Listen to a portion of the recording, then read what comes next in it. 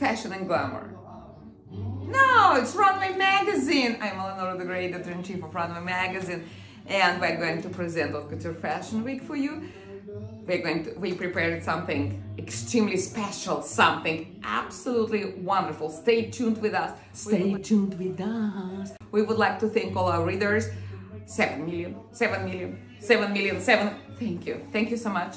Thank you so much. We very much appreciate what, that you like or maybe even laugh what we do and you actually appreciate what we um, what we read, what we write, what what you read, what we write, and maybe other way around.